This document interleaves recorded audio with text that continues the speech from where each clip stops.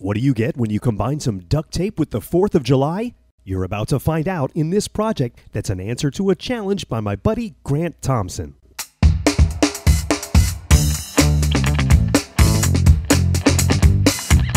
To make the star spangled hammock, I started out with some wood dowels. These are one and an eighth in diameter, and also some duct tape. You're going to need about 60 yards of duct tape, plus a couple of other special rolls I'll show you in a minute.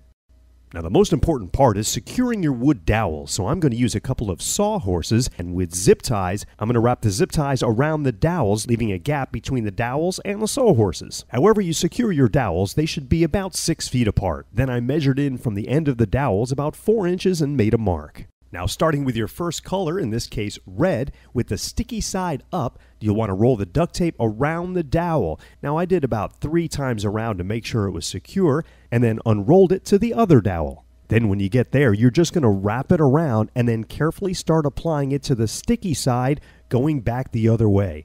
You want to try to do this carefully to avoid any wrinkles, but unfortunately, some wrinkles will be inevitable, and once that duct tape is stuck to itself, it's hard to pull apart. Then, once you get back to the original dowel, you're just going to cut about a foot off and then apply that to the bottom. Again, carefully to avoid wrinkles.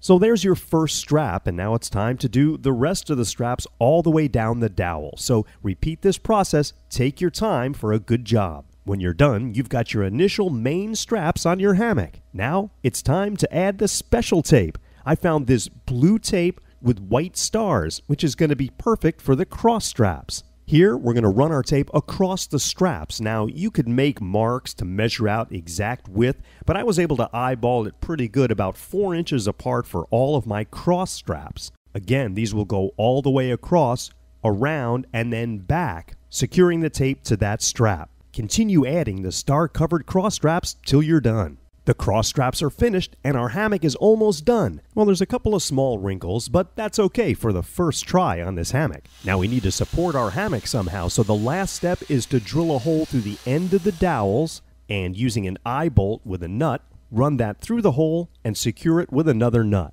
Then, using some rope, I hung our star spangled hammock from a couple of trees. It looks really cool. And there you have it the Star Spangled Hammock. This video was made in collaboration with my buddy Grant Thompson.